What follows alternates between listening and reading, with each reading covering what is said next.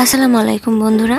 Juliet cooking চ্যানেলের আরেকটি নতুন পর্বে আপনাদেরকে ওয়েলকাম জানাচ্ছি। আশা করি আপনারা সকলে ভালো আছেন। আলহামদুলিল্লাহ, আল্লাহর আশিস রহমতে আমিও খুব ভালো আছি। আমি আবারও একটা নতুন রেসিপি শেয়ার করার জন্য চলে এসেছি আপনাদের কাছে।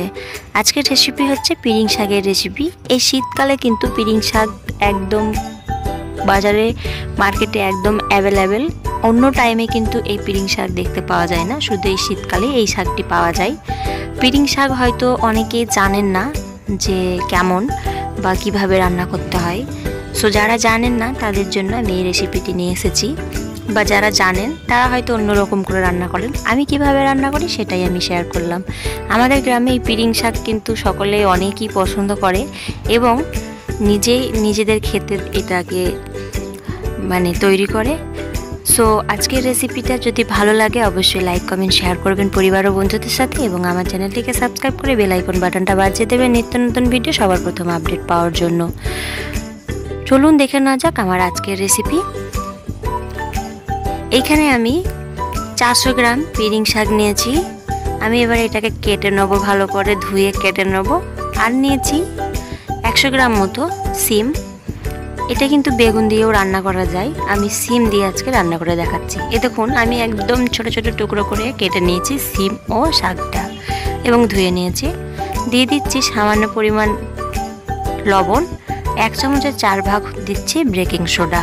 বেকিং সোডাটা কিন্তু দেওয়া খুবই দরকার কেন শাকটা সেদ্ধ হতে অনেক টাইম লাগে। দিয়ে দিলাম সামান্য পরিমাণ পানি এবং ঢাকনা দিয়ে ঢেকে আমি এটাকে সেদ্ধ করে নেব। মাঝখানে আমি একবার এসে দেখে নেব শাকটা সেদ্ধ হয়েছে কি না শাকটা কিন্তু এখনও সেদ্ধ হতে বাকি আছে। আমি নেড়ে চেড়ে আবারও ঢাকনা দিয়ে ঢেকে দেবো।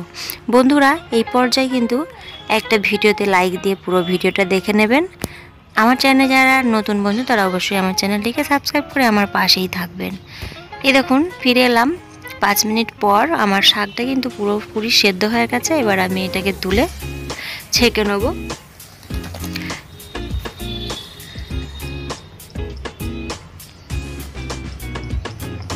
শাকটা কিন্তু আমি ভালো করে ছেঁকে পানিটা ঝরিয়ে ফেলে দিয়েছি।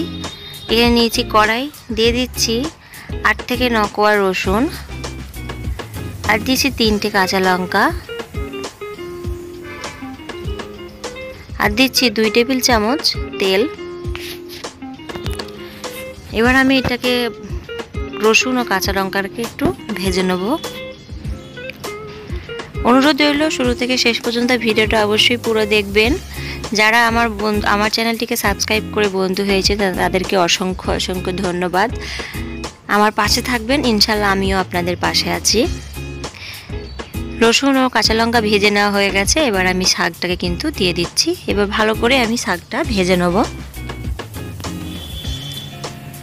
এই শাকটা কিন্তু অনেক তেতো হয়, তো তার যখন সেদ্ধ করবেন, তখন কিন্তু পানিটা ঝরিয়ে অবশ্যই ফেলে দেবেন।